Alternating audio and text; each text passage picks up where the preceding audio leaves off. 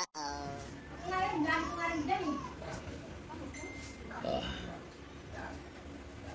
Afternoon, afternoon, afternoon mga kapasada. Mm.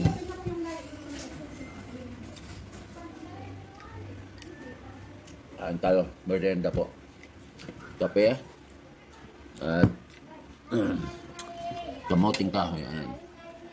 Ayan. Tara, kain tayo. Sabayan niyo ako.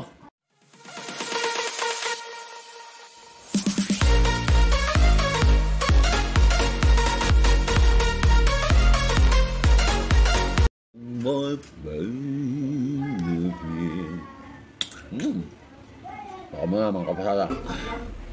So yan mga kapasada. Kuha pa tayong isa. Eh para usog tayo. Ano yun? Hmm. Hmm. Ano yung ga?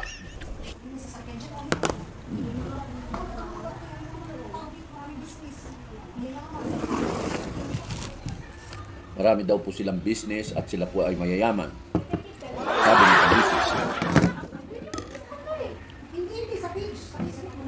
Hindi, pwedeng hindi sa page.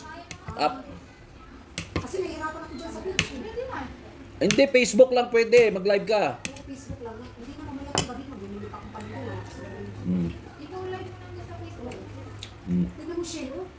Ano, bilong ko kapangit. Kasi kung sa page, kailangan kilala yung page mo. Oo. Hmm. Basta may pangano ka. Magano ka muna ng mga ano, fight ko lang muna kasi mga ito mo.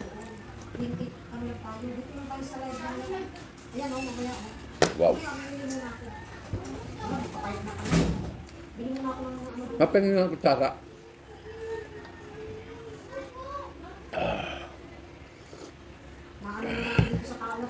Na utos. Amo na. So yan mga kapasada. Tapos natin ano, hindi na natin babalatan kasi pwede, pwede pa ba balatan? Ah, pwede pa. Pwede pa. So balatan natin para mas maganda. Kape muna. Ah, tapos.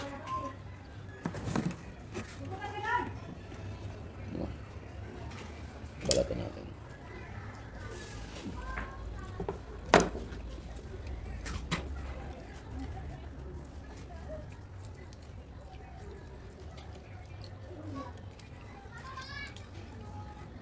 Diba? Hmm. Okay. Okay. Mas masarap kasi ito pinilatan mo. Yan. Para pagkain mo. Diba? Ganito lang po araw-araw ginagawa ko. Kung ano, yung tawag dito, kamuting kahoy, mais. Yan. Pero the best, ito. Papaya. Kaya lang medyo overripe na. Hindi naman masyado kasi napabalatan pa. Mm. Merienda. Kamuting kahon. Papaya. The best combination. Merienda time! Merienda time! Hindi. Kape. Ang alin yun? Ha? Nakikisi,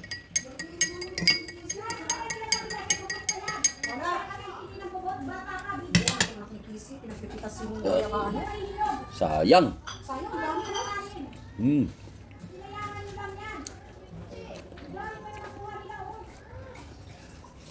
Hmm. Merienda ka muna kami, sis. Ikaw, misis.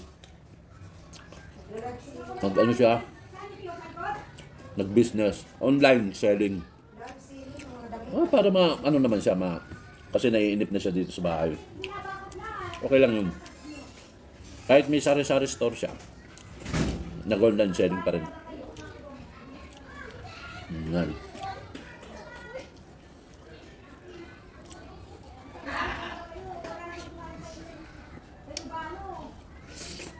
Hmm.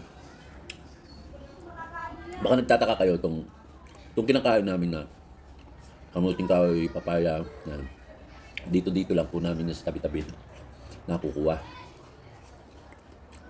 Tulad ng papaya, galing sa kapitbahay. Yung kamuting kahoy, bigay ng kapitbahay din namin. Yung mga tanim nila. Mm.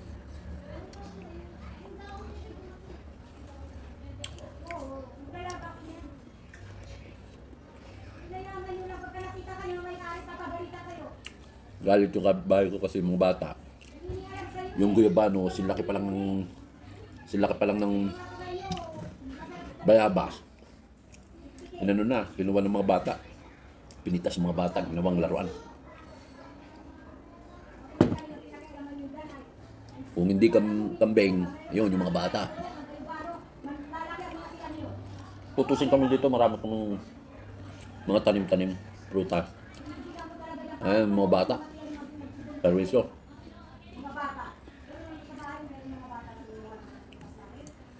Hmm. Busog tayo mga kapasada.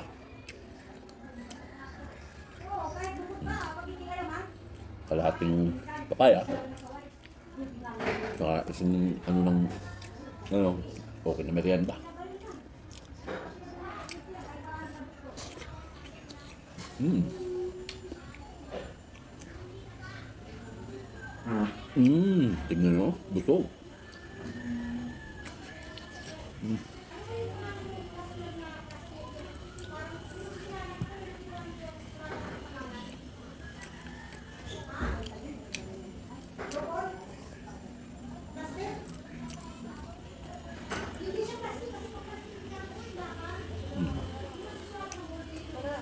Sarap. Boss. Time check. 5, 5 o'clock. Oh, merienda tayo sakto. Magkahaponan tayo mga 9 o'clock na. Mm.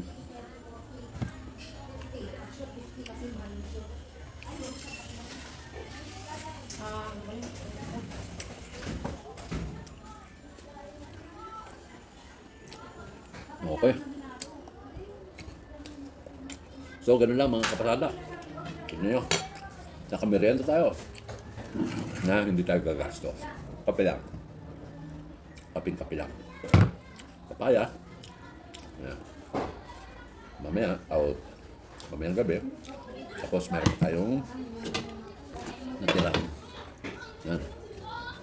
Yan. Yan to eh. Kamuting kahoy. Yan. Ano mga kapasada. Sinyashare ko itong video na to para merong nagbibigay-bigay sa inyo ng mga kamuting kahoy. Oh, mas, mas the best, healthy. Healthy. Ako mas gusto ko pa yung ganito. Tinatawag na sa Bisaya, doma, no? Kasi healthy food. Maiwasan nyo yung pagkain ng maraming kanin sa araw-araw kasi yun. Yun ang kalaban natin eh, cholesterol. Kasi lal- lalo na sa mga edad natin, no? mga ano, kapasada. Kailangan maging aware tayo. Maiwasan natin. Kasi kanina, umaga pa nga pala, aga namin, nagpunta kami sa ano, konting routine check-up lang sa katawan, no? Pa blood blood pressure ako. So lumabas 100 of ah, ano, 150 over 100. No? Tum- tumaas. Eh kasi naman, bakit hindi tataas? Eh, napatakbo ko dahil yung tricycle ko, itinutulak ng mama. Eh, akala ko, dinadagit na yung tricycle. So, napatakbo ko. Pagkatapos kong tumakbo, doon ako tinawag for, uh, ano, BP. Uh, normal, tataas. Pero actually, ano lang, 100 over 80 lang talaga. So, hindi naman tayo nagbibisyo, wala tayong bisyo. Very good boy ako. O, ganun lang mga kapasada. Ayaw nating iwanan ng maaga si Mrs. Kasi kamisis pala. Pero baliktad ang nangyari. Si kamisis, grabe. Anong bil? 170? Ah? 100, 170. 170 over 100. So, siya may planong umalis. no. O, sige. Mga pasada, kailangan maging sensitive po tayo sa ating health, no? Maging kailangan ma ano ninyo, ma ma-maintain ninyo yung ano para maiwasan ninyo yung usong-usong sakit ngayon na mild stroke, di ba? Mahirap 'yon. At the early age ng 50, nandyan talaga. Minsan mga 40 plus pa lang. Marami akong mga kakilala dito na half body stroke na talaga. Half, hindi naman totally dead, kundi talaga mild stroke sila eh. Napakabata pa. Kasi yung laging ang kinakain eh sinigang na baboy, yung alam mo yung nagagalaiti yung baboy, yung, yung pagluto nila. Hindi. Na iniiwasan ko yung ganun. Tapos malakas mag manigarilyo, pagkatapos mga kumain, sisigarilyo, tapos i, paghapon iinom, no? Tutulog, busog, lasing. Yun.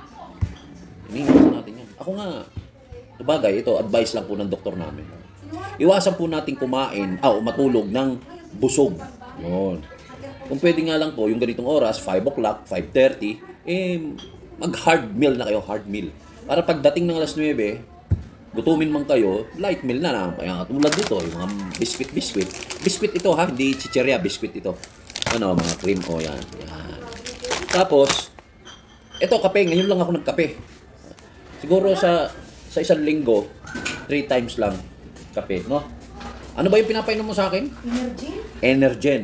Ngayon, ener Kada umaga yun, Energen ng Energen. Naiwasan ko na yung pagkakape. Ngayon lang kasi na-miss ko kaya tapos prutas, no? The best. Pero hanggat maaari, kung kayo nasa 50 na, iwasan nyo na magkape, Energen na lang. Hindi naman, hindi naman na ano yun, no? Yun. At least sana na nabigyan ko kayo ng konting kaalaman Ayun, para maiwasan yung yung ganung mga pangyayari. Eh, ano lang yun eh. Totoong nangyayari dito. Marami dito sa lugar namin na ganun na half body. Talagang kita nyo, nakatabingi ang mukha, ganun, nakaupo sa gilid ng kalsada, tabingi na yung mukha, ang bata pa.